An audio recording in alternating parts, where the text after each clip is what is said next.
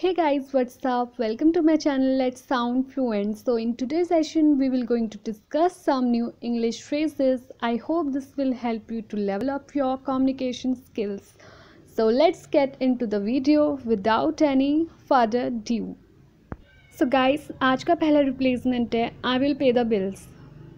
Don't say this say it's on me.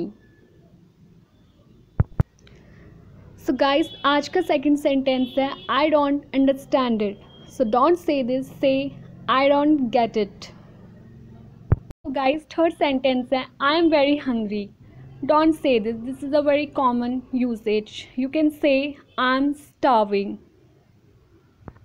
और अगला sentence है I am listening to you so इसका replacement है I am all ears don't say I am listening to you say I am all ears.